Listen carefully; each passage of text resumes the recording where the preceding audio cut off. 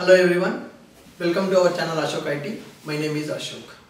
In this video, we will understand what is Terraform and why we need to use the Terraform and what is architecture of Terraform. Alright, let's get started. What is Terraform? We can call Terraform as IaaC software. What is this IaaC? Infrastructure as a code software. Terraform is used to create infrastructure which is required for our application. What is infrastructure? Whenever we are developing a project, for our project we need some servers like Jenkins server is required and Docker machine is required and we are going to use Kubernetes and we are going to use cluster, Kubernetes cluster and we are going to use DB servers. Like this we need several machines these are called as server machines. Jenkins server, Docker machine, Kubernetes cluster, database servers, Sonar server we need and we need to use Nexus server. To install all these servers, we need to create several machines in our cloud platform. Along with this, we need to use storage also and we need to create users to manage our infrastructure in the cloud and we need to create network in the cloud which is required for our application. So like this we need to create the infrastructure, the virtual machines that we need, the storage that we need, the users that we need, the security that we need, the network that we need. Instead of creating all this infrastructure manually in the cloud platform, we can use Terraform to create that infrastructure.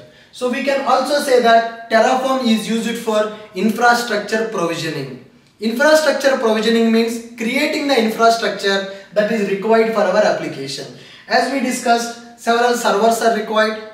We need to create virtual machines and we need to install the servers in those machines and we need to set up a storage to store our data.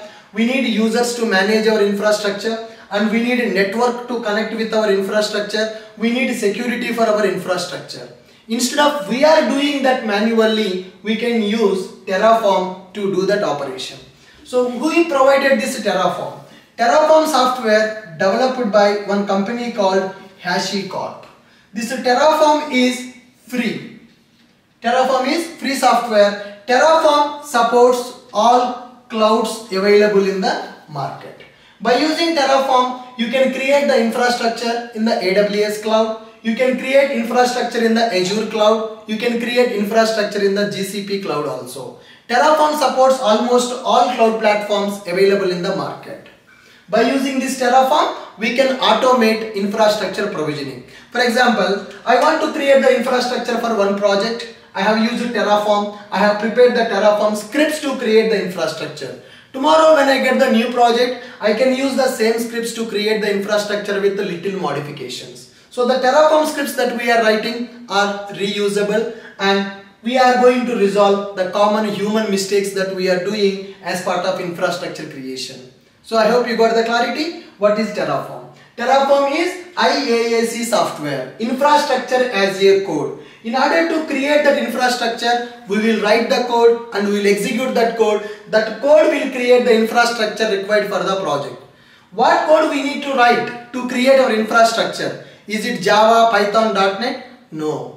Terraform provided their own language that is called as HCL language, HashiCorp configuration language. We will use this HCL to write the Terraform scripts. By using the Terraform scripts, we can create infrastructure in any cloud platform that is available in the market. Now let us see what is the architecture of that Terraform. Let's understand the Terraform architecture now.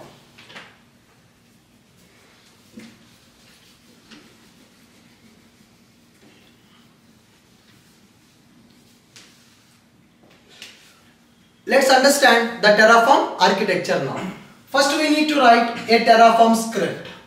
Here we are going to use HCL language, a beautiful documentation available in the Terraform website to understand HCL syntaxes. This Terraform HCL scripts we are going to save with .tf extension.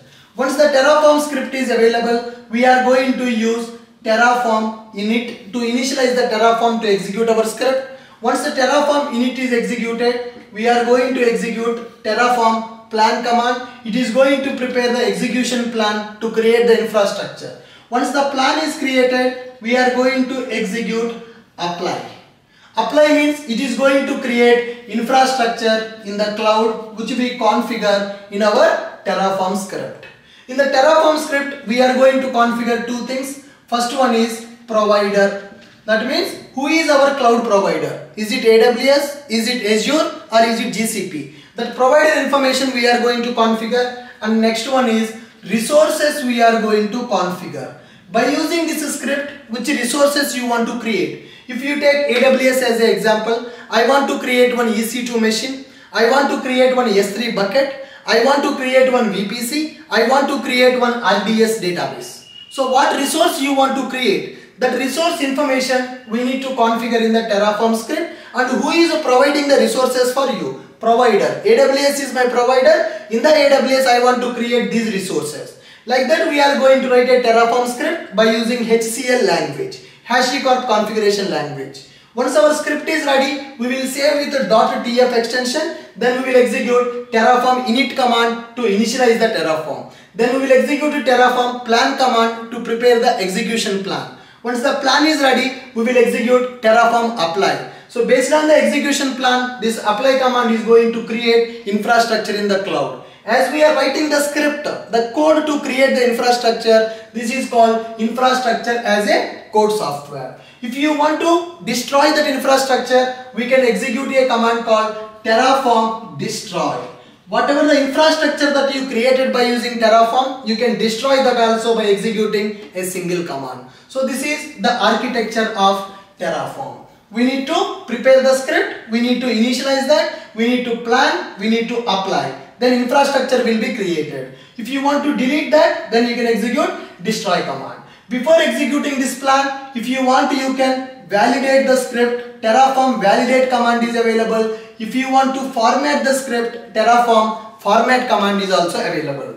Terraform init, Terraform validate, Terraform format, Terraform plan, Terraform apply, Terraform destroy. Like this we can execute Terraform scripts in order to provision the infrastructure in the cloud platform.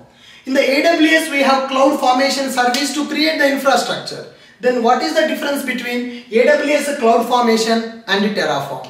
AWS cloud formation is also called as IIC software to create the infrastructure.